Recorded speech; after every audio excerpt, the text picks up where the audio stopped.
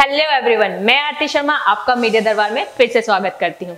Media दरबार आ चुका है एंटरटेनमेंट की कुछ और गॉसिप्स के साथ। हाल ही में बिग बॉस तेरह खत्म हुआ ही है और फैंस अपने अपने फेवरेट सेलिब्रिटी को ऑन स्क्रीन देखने के लिए इंतज़ार में बैठे हैं।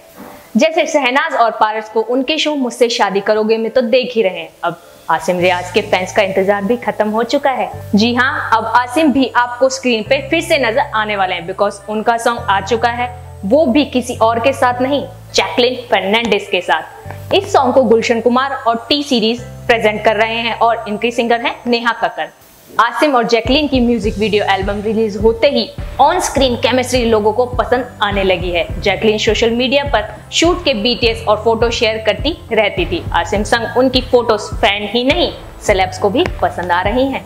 कुछ रोज पहले उर्वशी रोटेला ने भी उनकी जोड़ी पर कमेंट किया था क्यूट कपल लगता है उर्वशी को भी जैकलिन और आसिम की जोड़ी रास आ गई है।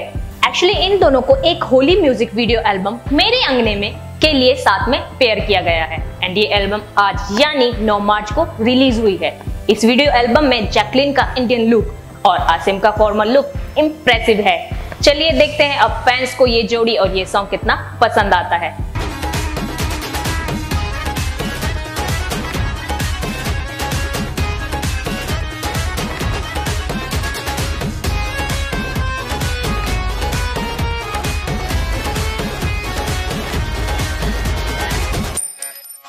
जैसे सबको पता है बिग बॉस तेरह में ही आसिम और हिमांशी खुराना रिलेशनशिप में आ चुके थे और अब बहुत जल्द नेहा कक्कर की अपकमिंग सॉन्ग में दोनों नज़र आने वाले हैं।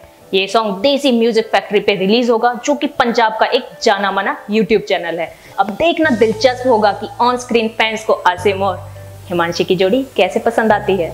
तो देखते हैं आसिम इंडस्ट्री में अपने क्या क्या जलवे दिखाते हैं। आज के लिए बस इतना ही। देश, दुनिया एंटरटेनमेंट की खबरों के लिए देखते रहिए मीडिया दरबार।